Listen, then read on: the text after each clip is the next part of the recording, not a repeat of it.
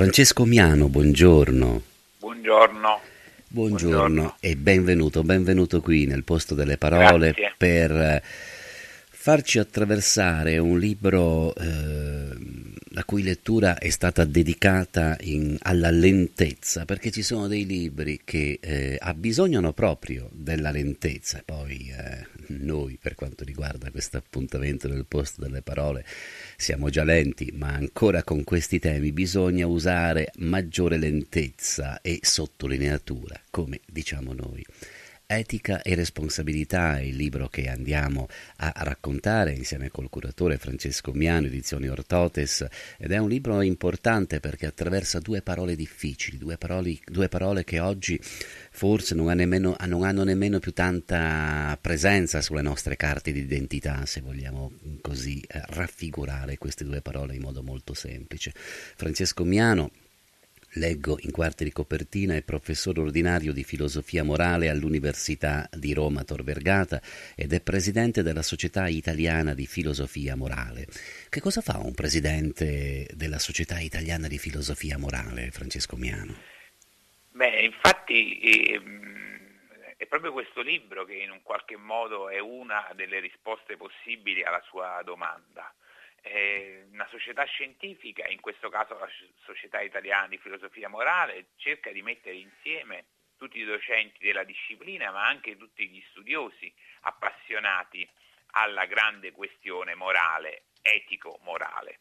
E in questo senso, tra, altre, eh, tra gli altri impegni, c'è proprio un approfondimento di quelli che sono i nuclei portanti, le problematiche più determinanti che oggi toccano il mondo, il mondo dell'etica. E proprio la Società eh, Italiana di Filosofia Morale eh, ha promosso un importante convegno nel 2017 da cui poi è nato come sviluppo successivo questo testo Etica e responsabilità da me curato, proprio per eh, interrogarsi su due parole decisive per l'oggi. Prima di tutto la parola responsabilità, che ci aiuta a comprendere ulteriormente la parola, la parola etica. La parola responsabilità eh, ci parla di una molteplicità di questioni eh, che eh, da sole già dicono la centralità della questione etica nella vita di oggi. Responsabilità vuol dire risposta a livello personale, capacità di mettersi in gioco, volontà di farsi carico,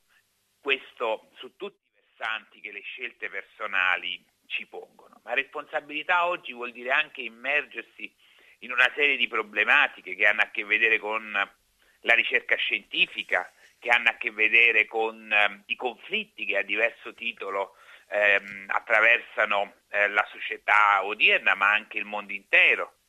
che hanno a che vedere con ehm, le varie questioni che si agitano nella vita, nella vita sociale oggi, questioni di ordine etico e bioetico, biopolitico, eh, questioni di carattere etico-giuridico, ma anche que- questioni di ordine, di ordine religioso. Ci sono cioè una molteplicità di questioni che interpellano la nostra responsabilità, ci chiedono di prendere posizione. Allora il problema è come, con quali criteri, a partire da quali valutazioni, dandosi quali priorità, che cosa oggi muove l'agire delle persone? E un agire che sia responsabile? E dunque in questo senso un agire etico, perché un agire non casuale, ma un agire profondamente pensato, riflettuto, un agire che sappia essere eh, veramente espressione profonda di se stessi, ma anche espressione profonda di percorsi condivisi, condivisi con la comunità, condivisi con la società, condivisi eh, anche nelle urgenze, nelle urgenze che l'oggi pone continuamente all'attenzione di noi tutti. Oggi eh, l'attenzione nostra è rivolta a molte cose e mm, non per fare il solito discorso dei malatempora, e sono sempre stati comunque nel corso del tempo i malatempora, è sempre, certo. stato, è sempre stato così, ma oggi nella nostra attenzione e nella nostra disattenzione nello stesso tempo su delle, delle questioni importanti, la parola etica, lo diceva poco fa lei, ci, ci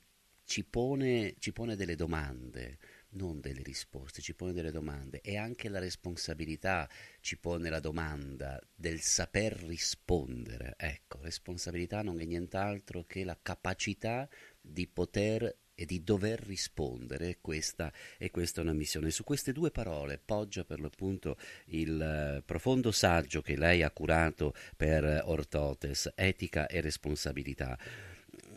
queste due parole vengono attraversate da un punto di vista veramente eh, filosofico, ma la filosofia che noi troviamo in queste, in queste pagine non la si pensi come una filosofia nella Torre d'Avorio, la filosofia in queste pagine è filosofia che tocca il nostro quotidiano, che attraversa nostre, le, i nostri problemi, che,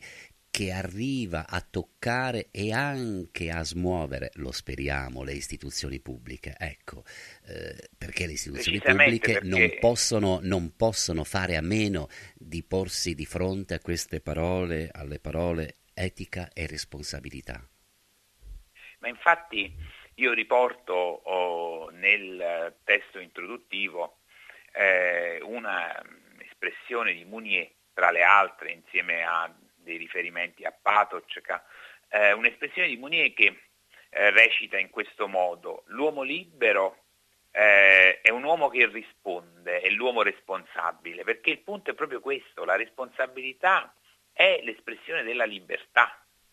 E, e, le due parole sono strettamente congiunte, così come lo sono etica e responsabilità. Non c'è libertà che non si traduca nell'esercizio di una responsabilità e non c'è autentica responsabilità se non come espressione della libertà. Lei ha citato Patočka, eh, pensatore, filosofo sì. eh, ceco, il quale sì. diceva proprio che la storia non è una visione, ma è una responsabilità.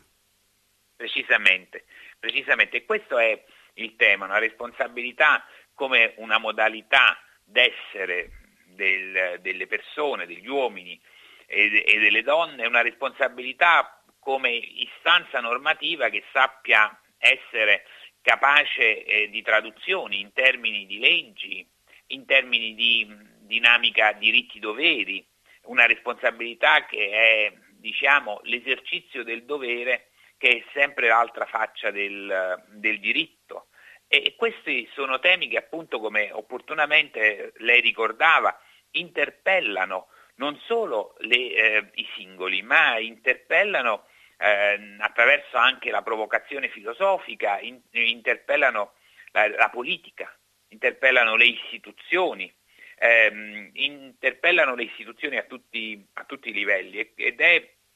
diciamo, importante anche questo tentativo che facciamo con questo,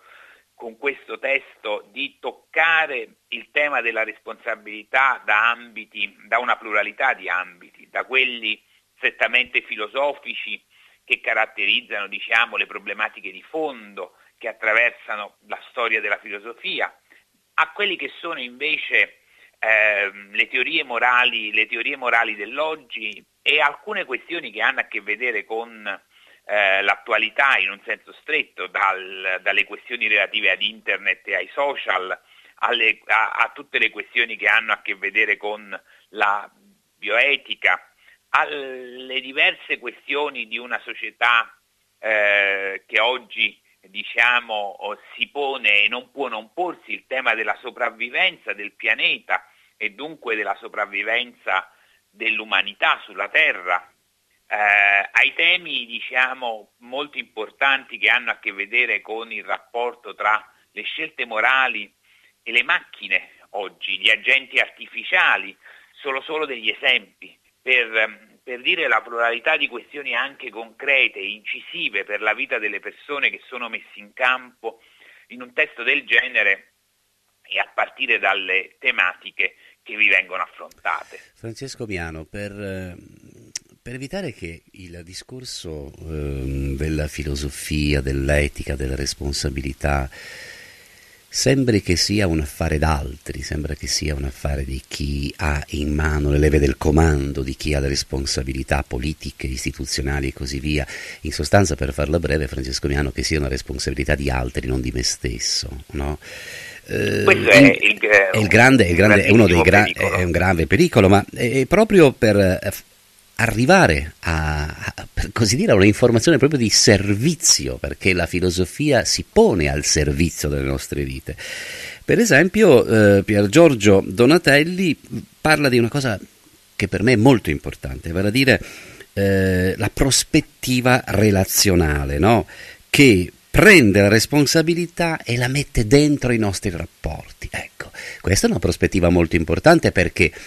così facendo nella parola relazione non sono più gli altri, ma nella parola relazione ci sono anch'io. Ma infatti eh, questa sottolineatura che lei pone attraversa ehm, i saggi introduttivi, il saggio di Donatelli, della Boella, di Fonnesu e come attraversa le singole questioni che poi il volume, il volume pone. Per me eh, questa affermazione è decisiva. La parola responsabilità si iscrive in una dinamica relazionale. Se la responsabilità è da concepire come risposta, risposta dei singoli o risposta delle comunità, delle collettività, allora in fondo questa risposta indica una relazione. Se le relazioni si spezzano, si spezza la responsabilità la responsabilità viene meno. Eh, un recupero di autentiche relazioni eh, va insieme a un recupero di responsabilità nelle diverse forme che la responsabilità assume, quella responsabilità diretta che deriva dalla relazione diretta con l'altro, dalla relazione con la persona che mi sta a fianco, della persona che mi amica, della persona a cui voglio bene e quella relazione per tanti versi più indiretta ma non meno pregnante che è la relazione dovuta ad ogni persona, possiamo dire, che è sulla faccia della terra, che in un qualche modo è dovuta a tutti, che è mediata dalle istituzioni, ma che passa attraverso atteggiamenti di vita che o si riscoprono appunto in una chiave relazionale, per quanto non immediata, eh, oppure eh, fanno perdere di senso anche allo stesso discorso sulla responsabilità. Il discorso sulla responsabilità è un discorso senza fine, perché ogni volta Francesco Miano ci, e questo libro ce lo dimostra, ogni volta va contemporaneizzato. La parola responsabilità è una parola che è intrisa del nostro vivere e del nostro sapere. La parola responsabilità è legata a un'altra parola, credo, alla parola azione, no? Però niente, niente e nessuno può assicurare a me stesso che la mia azione abbia veramente un senso, se vogliamo un senso, un significato, fino ad arrivare al significato etico, no? nel significato profondo. Eh, ecco, e la parola azione è un'altra di quelle parole che in questo libro Etica e responsabilità ci attraversa e ci pone delle domande. La parola azione è un'altra parola decisiva ed è un'altra faccia eh, della responsabilità, del nesso etica e responsabilità, perché la, la parola azione dice intanto eh, non l'azione eh, in un senso eh, esclusivamente tecnico, anche quello in certi casi, ma prima di tutto l'azione come azione morale, come l'agire eh, dell'umano che esprime l'umano stesso. Non c'è vita senza azione, e, e, questo è strettamente congiunto alla responsabilità perché la responsabilità non è no, nozione astratta, non è eh, qualcosa di declamatorio, non è qualcosa che troviamo, non stiamo parlando di qualcosa scritto semplicemente in un qualche codice deontologico, ma stiamo parlando della responsabilità viva che deriva dall'agire, dall'incrocio di un proprio sentire ed un'azione come fatto ineludibile che eh, diciamo, si dà nella concretezza, nella concretezza della realtà. La responsabilità c'è perché si mette alla prova, perché continuamente si mette alla prova nell'agire, altrimenti la responsabilità è parola vuota, parola vana, parola astratta. Responsabilità viene dunque anche interpellata questa parola perché la responsabilità oggi, per essere veramente eh, in questi giorni, è una parola che introduce, lo dicevamo poco fa, il concetto della relazione, introduce il concetto dell'altro, chiunque esso sia, l'altro nostro familiare, nostro amico, collega di lavoro, l'altro che arriva da un paese lontano. Ecco, e questo, eh, questo aspetto della responsabilità che è farsi carico dell'altro senza dimenticare noi stessi ed è questa una cosa importante perché oggi come oggi c'è forse un aspetto buonista verso gli altri per dimenticare se stessi, no? E invece no, e invece io devo farmi carico dell'altro, posso farmi carico dell'altro se non dimentico me stesso, no? Io posso guardare l'altro in volto per ricordare la straordinaria tesi di Levinas se io eh, ho eh, contezza critica del mio esistere. Ecco, solo l'altro mi può dare delle risposte al mio esistere, ma io devo guardare l'altro, più che essere accanto, essere di, fr- essere di fronte. Infatti eh, il punto è proprio questo, c'è una eh, stretta correlazione tra la capacità che ho di assumere la responsabilità di me stesso, eh, che non è un dato intimistico, non è un chiudersi, non è una caduta introspettiva. Eh, quindi una correlazione strettissima tra la responsabilità di me stesso in questo senso e la capacità di eh, assumersi la responsabilità dell'altro e di saper guardare in faccia l'altro, perché di non sfuggire il suo sguardo proprio per usare il richiamo alle Levinas che lei opportunamente poneva. Queste due dimensioni sono entrambe importanti de- per la responsabilità. Se non imparo ad assumere la responsabilità di me stesso, sarà più difficile avvertire la responsabilità per l'altro, avvertirla in modo pieno, profondo, non superficiale. E sono due dinamiche, entrambe complesse e difficili, perché anche la prima, quella della difficoltà ad assumersi la responsabilità di se stessa, è un dato mh, che incide nell'ordine eh, delle relazioni, evidentemente, nell'ordine delle relazioni sia quelle interpersonali, intersoggettive, che quelle poi istituzionali, sociali. Francesco Miano, eh, questo libro, ricordiamo, Etica e responsabilità, Orototes Edizioni, è un libro che eh, attraversa, l'abbiamo già detto più volte, le nostre vite, il nostro agire, il nostro pensare e, noi abbiamo scelto alcune parole per questa conversazione, però se mm, permette io sulla parola rimarrei ancora, vale a dire la parola non tanto quella che pronuncio io, ma la parola che pronuncia l'altro, ecco. Che cosa rappresenta la parola che l'altro pronuncia nei miei confronti? Perché la parola che viene pronunciata può essere una rottura, può essere un disturbo, può essere un disagio, ma quella rottura, quel disagio, no, eh, rappresentano quella ferita da cui può, si può intravedere la luce per me stesso. La parola è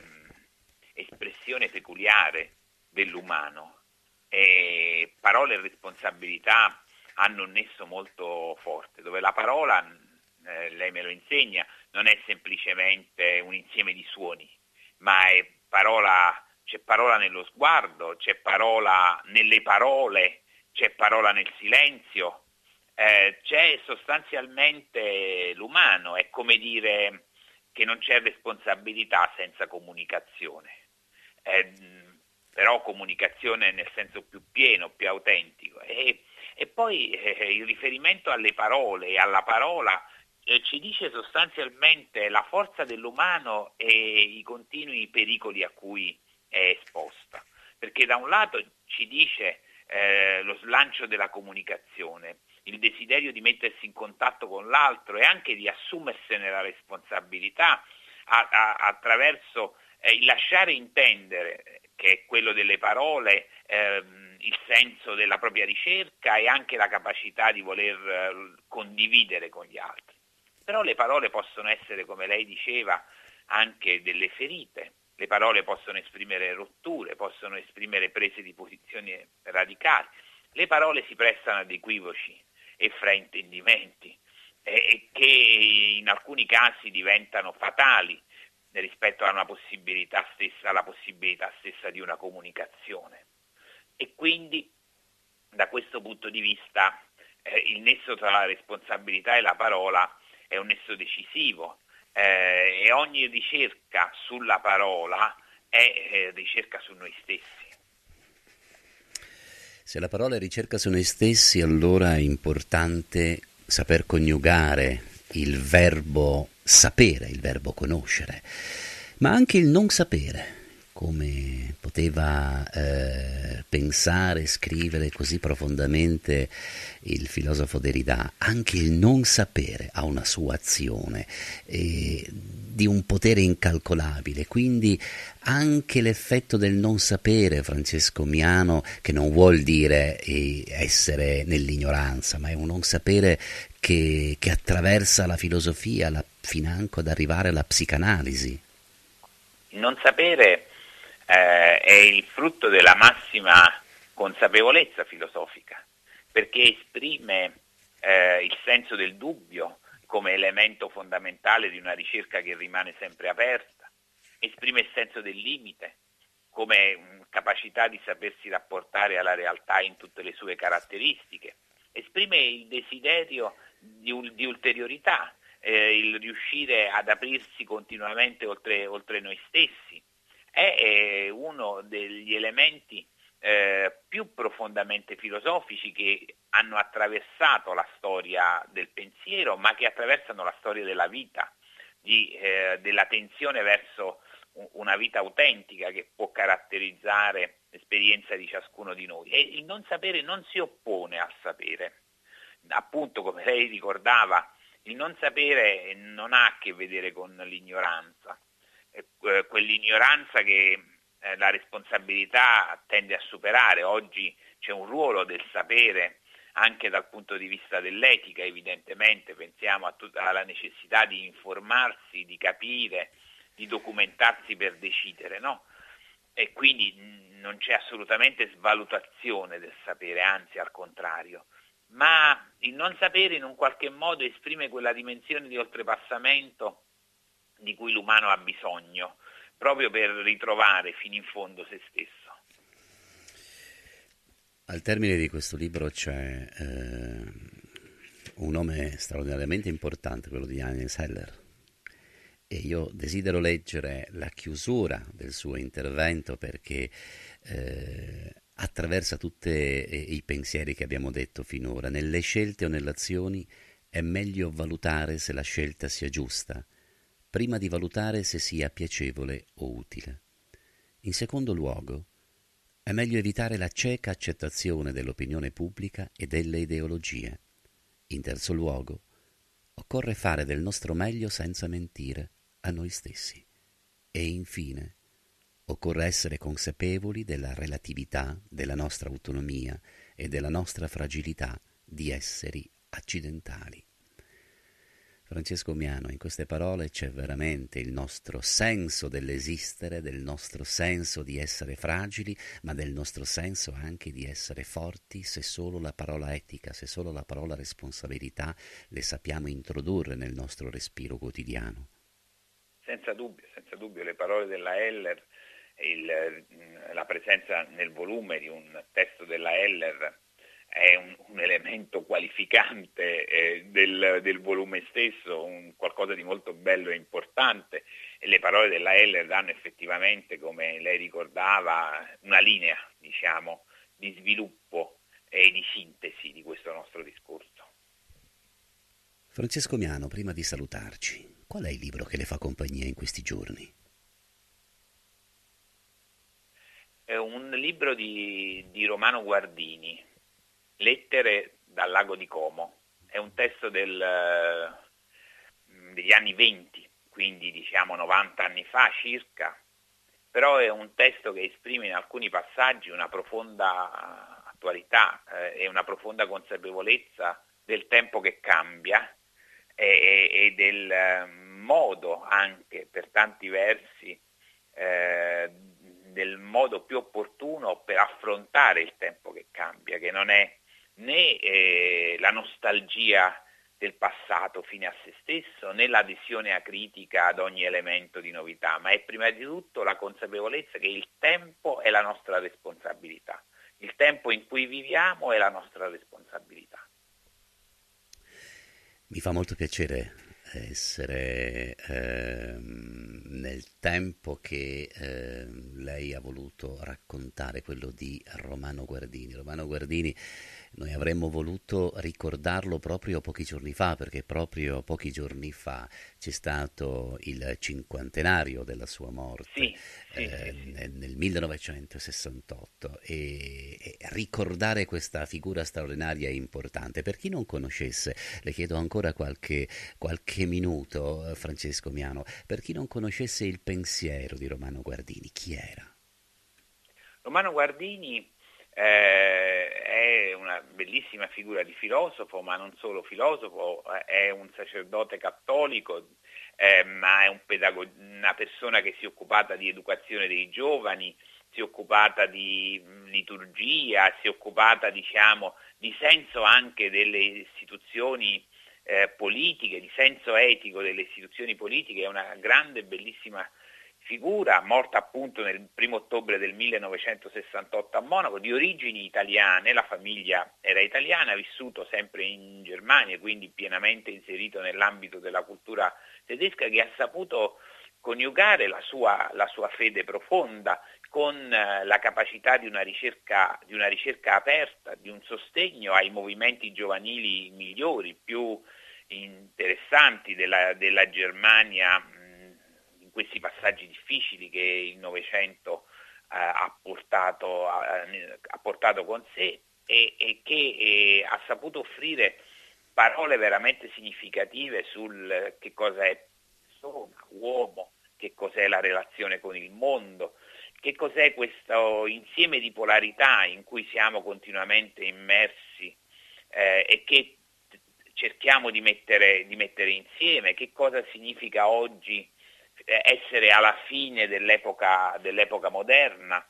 che cosa significa oggi il potere, eh, sono tantissimi elementi che però muovono con molta forza da un'attenzione alla dimensione dell'interiorità,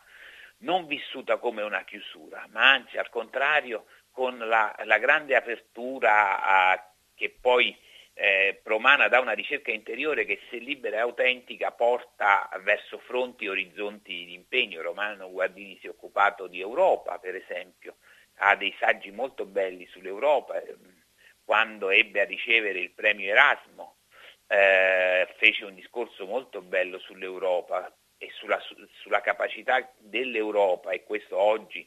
sarebbe un tema molto importante da riscoprire sulla capacità dell'Europa di mettere insieme proprio le, le polarità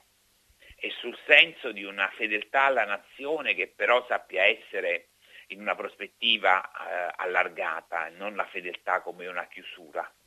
ma la fedeltà come un senso profondo che si riscopre proprio nell'ulteriorità. Ecco. Francesco, per dire certo, parola. a proposito di Romano Guardini e soprattutto proprio questo discorso sull'Europa dovrebbe essere ripreso e chissà, chissà se la politica ha ancora possibilità di avere questi agganci, di andare a riprendere quel discorso di Romano Guardini e non dico contemporaneizzarlo perché è contemporaneo comunque, è una necessità conoscere certo. il pensiero di Romano Guardini sull'Europa perché è un pensiero comunque di oggi, è un pensiero del futuro. Francesco Miano, grazie, grazie veramente per il tempo che ci grazie ha dedicato, per il libro che lei ha curato, Etica e Responsabilità Ortotes Edizioni. Buona giornata. Grazie, buona giornata buona giornata.